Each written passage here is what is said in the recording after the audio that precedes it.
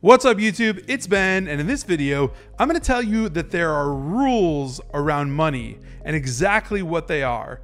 Watch this until the end and you will know exactly how to have financial freedom for the rest of your life if you follow the rules. All right, so hey guys, my name is Ben Nader. If you already follow my channel, thank you. If you're brand new, welcome. We talk about finance, money, investing, software, recruiting, business, entrepreneurship, you name it, we talk about it. With that being said, subscribe if you like that kind of stuff. Join our Facebook group. It's down in the link in the description, Recruiter Empire. Um, so that's exactly where you should be, our brand new member of Recruiter Empire. And let's get right into the 12 rules I'm about to give you about money that you should absolutely follow. And if you don't, you're probably going to be screwed. All right, so since I talk a lot about business and entrepreneurship, here's the number one rule impact, right? Providing value, right? That equals income. That equals money, right? So money just does not come out of thin air. Lottery winners lose money, right? Money is not made when you don't provide an actual impact or value or a solution to somebody else's problem. You actually need to have impact to actually create value and money. All right, so rule number two, you should always, always, always Keep an eye on your money. Never take your eyes off of your money. Know exactly where your money is. What is your money doing? Is your money working for you? Where is your money? Is your money like low? Is it high? Like like where's it at, right? Like understand where all of your assets are, Understand where all of your cash is. Are you not deploying enough cash? Are you not investing enough? Do you have just like a bunch of money sitting in the bank, like losing out to inflation? That's bad. Like, look at your money, watch your daily accounts every single day, and understand what's happening. Like, always keep a bird's eye view on your money in general. All right, so number three, this is a really, really solid one. Listen, knowledge leads to wealth. So, the more you know, the more you will grow and the more you will earn. So, things like understanding how to do XYZ skill, whatever it is, right? Knowledge equals power equals money. In school, they leave that last one off, but it equals earning potential, right? So, personally, right, I have Recruiter Empire where we train people how to build their own recruiting empires, agencies, staffing agencies, recruiting agencies. They go on to make six figures, seven figures, right? Knowledge equals income, knowledge equals money. Understand that the more that you learn and the more that you know, the more that you can earn, right? That's just simply how it works. So knowledge equals money. All right, so number four on the list of rules of money that you should need to follow. And if you don't follow, you're not going to be in a good spot, right? You should always visualize your goals right? Visualize your goals with money, right? Specifically, not just your general goals, but I'm talking about with money in the picture. Understand that if you want a mansion in Beverly Hills and if you want to live that lifestyle, how much is it going to cost? And then what do you need to do to get there? Like step back and reverse engineer how that's going to work. If you want a super fancy nice car, right? How much is that car? What do you need to do to get there, right? Understand what that kind of stuff looks like. If you're a family and you have kids, you want to send your kids to college and you want to pay for the entire thing, right? Understand what you need to do to be able to have that money in place so you can do it. Visualize goals and visualize the money as it pertains to those goals so that you can actually put two and two together and say, okay, I know exactly how this is going to happen. So affirm that, visualize it, put those into goals, and know exactly how your money is going to work for itself so that eventually when the day comes that you're going to do the thing you're going to do with the money you need to do it with, you have it and you followed the rule. All right, so number 5 literally couldn't be more important. You need to invest your money. All right, general rule of thumb is investing around 20% of your money, of your earned income, right? Or passive income, whatever it is, the both of them all income, earned or passive, you should be investing around 20%. That could be on a monthly basis, right? Or on an annual basis, totality, gross receipts, right? Think about it however you want to think about it. But the number should be around 20, 25% if you want to be aggressive. But understand that investing is critical to you growing your money. Money doesn't grow on trees, it grows on investments, right? So, with that said, you can invest into real estate, you can invest into businesses, you can invest into yourself, right? By training and going through mentorship, going through coaches, right? Guides, people that will show you how to make more money, right? Invest, invest, right? Whether it's in the market, businesses, or investing into yourself, right? Just understand that you absolutely 100% need to follow this rule of investing your money. If you don't do this, you're not gonna have any money in your later years. You definitely won't have any retirement money, and you're not gonna have the money that you currently have growing. You need your money to work for you. That's what it's supposed to do. This is what the 1% do. This is what the rich of the rich do. They invest their money heavily, right? That's why they're rich. 99% of people completely skip this step. They don't even think about it. They spend all their money. They don't invest any of it, right?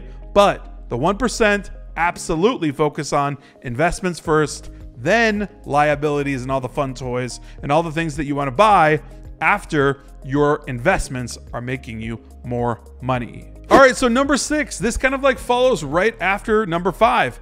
Find somebody that's like a millionaire or a billionaire if you know someone like that, right? It's pretty common that you can find someone that's a millionaire. That's pretty easy. Someone that makes seven figures per year, right? A million plus.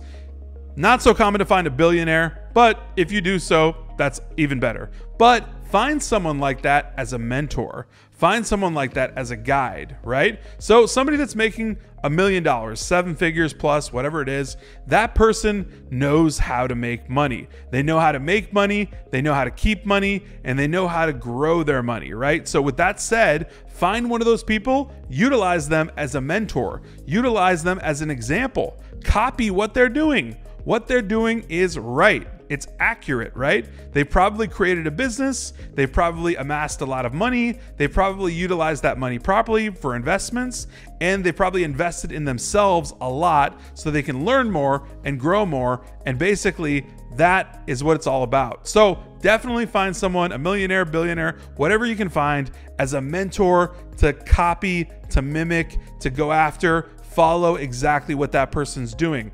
You don't need to reinvent the wheel, guys. Money is not that difficult of a game. Once you know it, you know it. So find somebody that's already doing it and just copy what they're doing, right? Find a mentor. All right, so number seven, this is something that people never really talk about. And it's actually something that a lot of people don't even understand, but utilize credit to build wealth, okay? Utilize credit and debt to build wealth. So let me give you an example if you have like a million dollars in cash, right, sitting in the bank, it is wasting away to inflation, right? So instead, you should buy a bunch of real estate and put it on Airbnb so that it not only cash flows for you, but the monthly cash flow pays for the actual mortgage. So it's a self sustaining house. You don't have to pay for a mortgage and you actually make a ton of money back, right? And it's passive income, meaning you don't have to do much other than some management and some various other things to keep that stuff up, right? So, that being said, this is how the rich get more rich, right? And the poor get more poor because they don't do things like this, right? But utilizing debt and utilizing credit and things like that. Let's say you didn't have liquid capital, you didn't have a million dollars cash, right? Utilize lines of credit, right?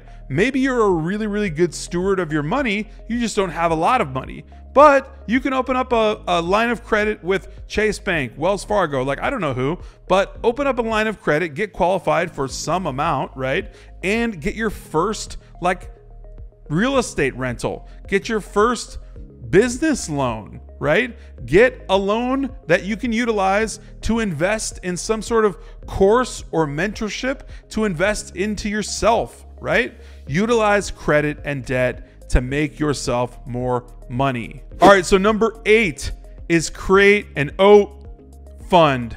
Basically, if the hits the fan, you want to have money in the bank, right? So this is the whole thing. And Everyone should be taught this. A lot of people don't know this, and a lot of people don't take the time or energy to even actually do this because it's something that people don't want to do. They don't want to put money away. They don't want to put money in a certain spot, right? Sorry, Dave Ramsey. I get it. The whole thing about putting all of your money in cash and utilizing no credit, no debt, no none of that. But this is an important piece. You do need to have something like a, a fund, right? That you just keep to the side that's like, let's just, I don't know, say six months of living expenses, right? Really, really low level living expenses. Like I'm talking about the cheapest apartment and food, right? Like for doomsday. Like this is like if anything happened and you absolutely needed that money, like keep that money around, right?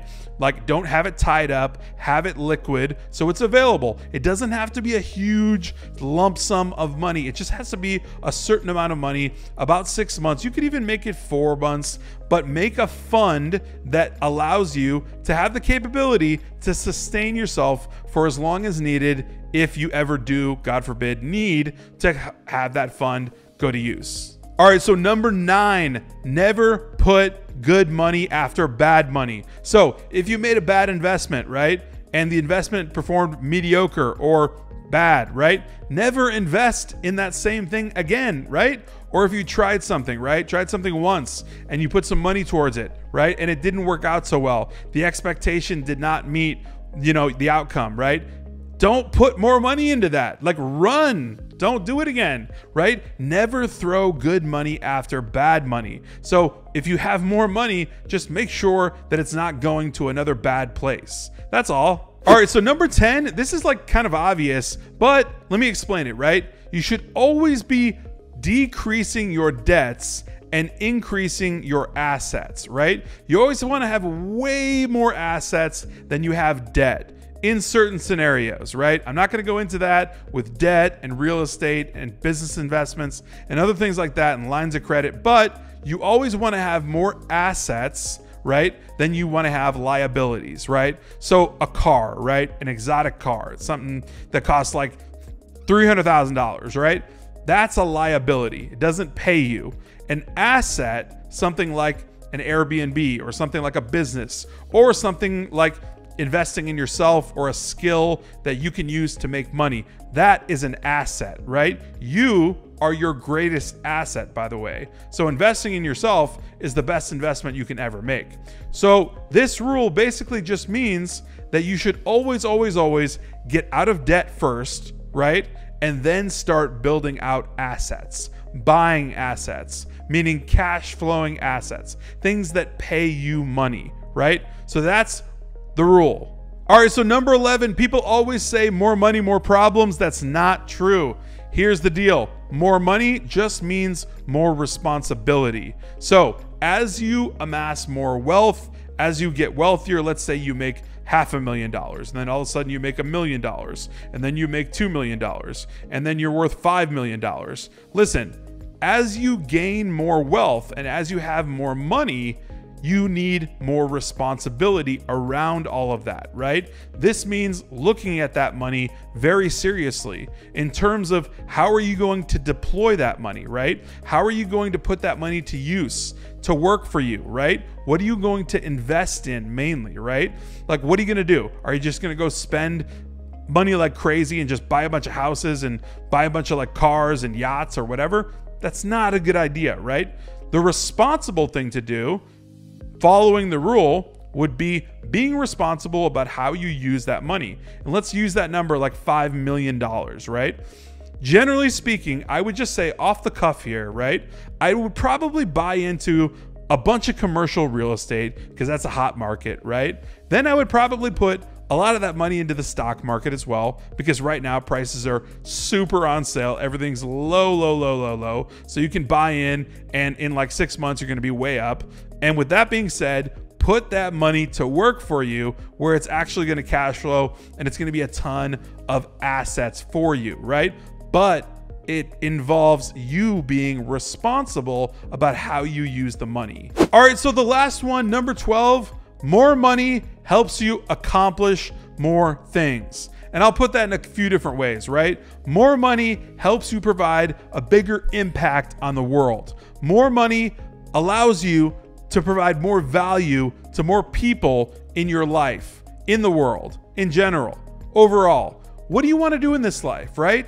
Right? You cannot take it with you. So, when you amass large amounts of money, right? Let's say you get to that net worth of 5 million, right?